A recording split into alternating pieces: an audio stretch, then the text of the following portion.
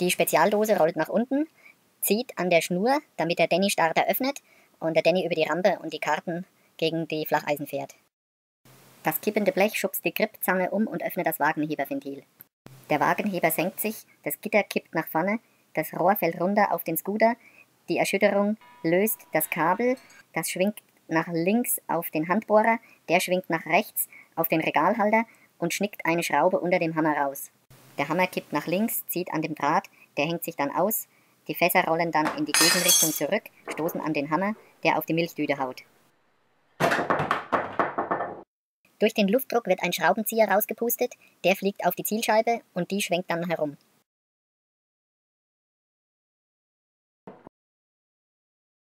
Der Imbusschlüssel löst die Rattenfalle aus, die öffnet die Verriegelung der Druckluftflasche, die hebt ab und hebelt die Schraubzwinge aus.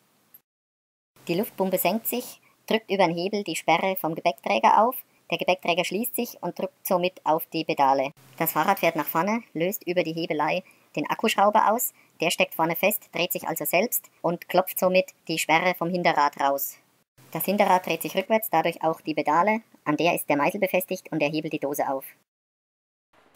Der Dosenöffner ist so gebaut, dass man die Dose einfach reinsteckt, die Halter dran macht, die Dose wird aufgehebelt, Klemmungen entfernen, Dose entnehmen. Jetzt kommt der ganze Ablauf als One-Take ohne Schnitt und Veränderung.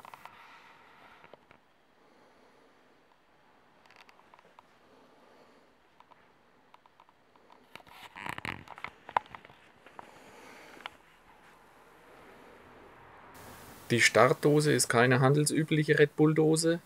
Sie hat von mir eine Spezialbehandlung bekommen. Zum einen für den Grip auf der Unterlage sind ein paar Fahrradschläuche aufgezogen, die zwei Streifen, die schwarzen, und die Füllung ist mein Geheimnis.